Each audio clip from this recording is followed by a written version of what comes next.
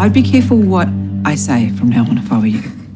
My grand just died without me because of your stupid surgery. That isn't quite how it happened. In her final moments when she needed me the most, I should have been there.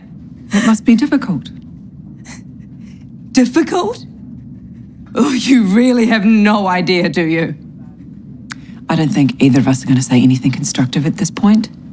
So how about we just wrap this up? Unbelievable. You really don't. Samira! Stop. Go home. Be with your family.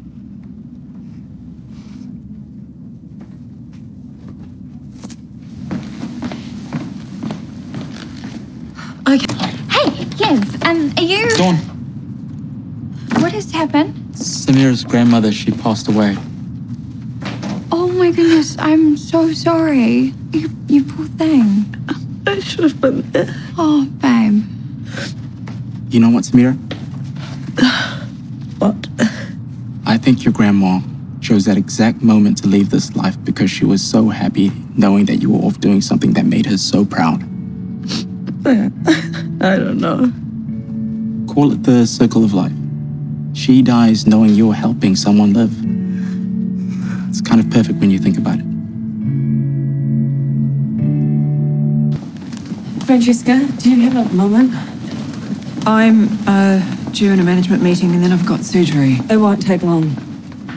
I just want to apologize for how I spoke to you last night. I was really angry at myself and, and I took it out on you. Emotions like grief can be difficult. But the way you spoke to me was out of line. Again, I am so sorry and it will not happen again.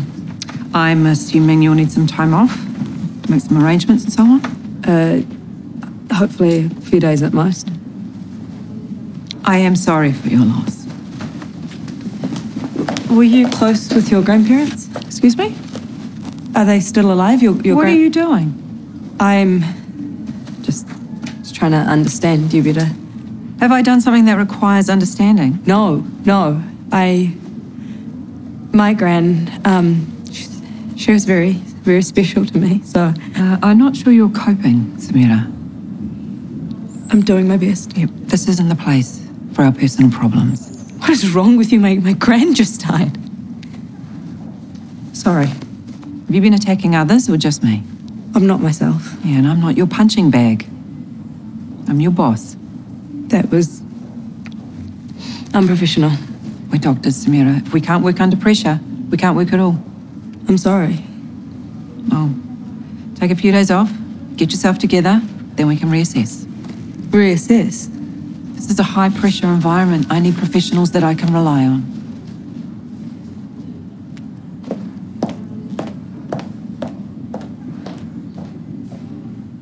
Yeah. White roses and pink lilies. Yeah, they were her favorite. Okay. Thank you.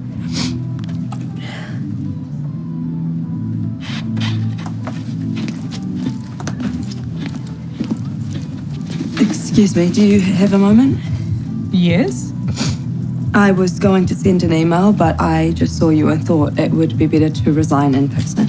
Resign? Why would you do that? I made um, a huge error of judgment, Nothing you can't come back from. but you said What? in our last conversation that I wasn't cut out for the job. That's what you took from that. Yes, and you would know, so. No, oh, that is so not what I meant. You're a very gifted young surgeon. But I don't have the temperament for the job. I'm.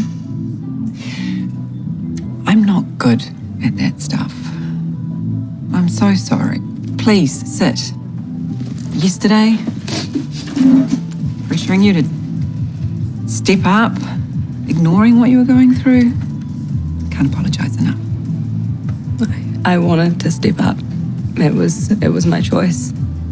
Letting my grand down was my fault.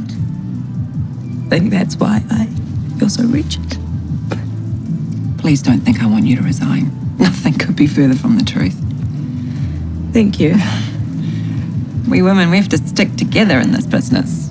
Can't have the men thinking they've got it all to themselves. That's true. and yes, uh, to answer your question, they are alive. So who? My grandparents. Grampy and Nan. Grampy. that is very cute.